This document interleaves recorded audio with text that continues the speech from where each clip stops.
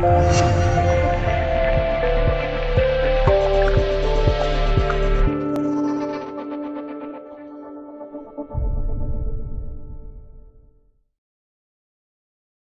日，一架美国空军 RC-135V 战略侦察机被发现沿着俄罗斯黑海沿岸飞行，并多次逼近克里米亚半岛西部地区。俄罗斯卫星网七月三十一日报道称，这架 RC-135V 侦察机来自位于希腊克里特岛的北约苏达湾军事基地。根据俄罗斯武装力量部机关报《红星报》最新公布的图表，在七月的最后一周。共有来自英美等国的二十五架次军机贴着俄罗斯边境进行空中侦察，俄军防空力量的值班战斗机也五次紧急起飞，以阻止这些军机飞越国界。美军 RC 幺三五侦察机，俄媒统计显示，美英等国电子侦察机对克里米亚半岛进行了频繁的抵近侦察。俄军方人士则表示，该国最先进的 S 四零零防空导弹系统已部署到半岛。如果外军飞机胆敢越界，